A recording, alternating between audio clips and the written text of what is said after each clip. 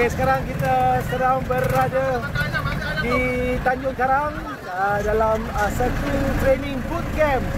Dipanggil Leaders Boot Camp for Kausarian. Dan uh, ini adalah antara aktiviti kita. Dan sekarang Kausarian sekarang berada bersama-sama untuk pergi ke aktiviti seterusnya di sawah. Alright, everybody say hello!